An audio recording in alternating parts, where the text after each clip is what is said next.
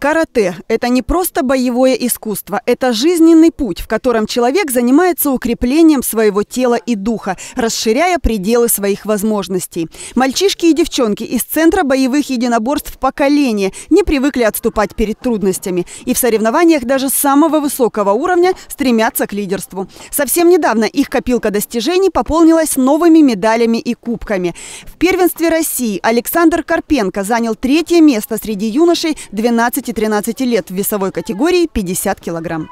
Там были и быстрее меня, и сильнее, но все же я смог э, им противостоять э, и занять третье место. Это дух э, и характер. Э, я, э, я, я, получается, перед боем себя настраивал на, на хороший результат. Э, и достойно выступить. Александр занимается карате уже почти 7 лет. Как сам признается, наград за это время завоевано немало. Но такого уровня первая. И уже сейчас спортсмен ставит для себя новые цели. А Руслан Саядов в карате уже более 10 лет. На занятия пришел за старшим братом. Во всероссийских соревнованиях Кубок Кавказа в Сочи спортсмен занял третье место. А на международных соревнованиях в Казани Руслан стал чемпионом в возрастной категории 14-15 лет, обойдя 30 участников. Пять боев провел, да, нелегко. Получилось собраться наконец-то, уверенность и смог.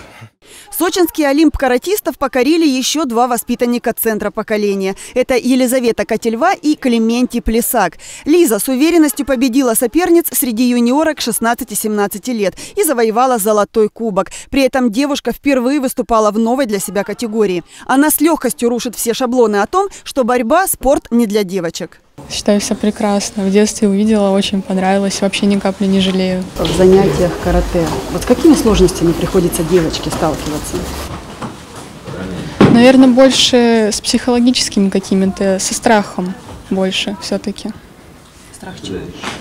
Страх того, что там где-то сильно ударят, где-то еще что-то. Это очень сильно влияет и на самого человека, э, потому что очень сильно характер меняется. Ты больше целеустремленной становишься, когда ты чем-то занимаешься, постоянно ставишься какие-то цели, постоянные тренировки. Конечно, это все поможет в будущем. Еще один золотой каратист Клементий Плесак на турнире в Сочи провел 5 боев и все выиграл. Обошел 40 участников своей категории 12-13 лет. Благодаря тренеру и тактике, отработанной на тренировках, отработанные приемы и умственная э, мысль, как э, вести бой во время поединка. Настрой э, важен. Это в первую очередь для поединка и для бойца это самое главное. Карате – это не только изучение техник ведения боя, это особый образ жизни. При упорной борьбе амбициозным планам этих ребят суждено сбыться.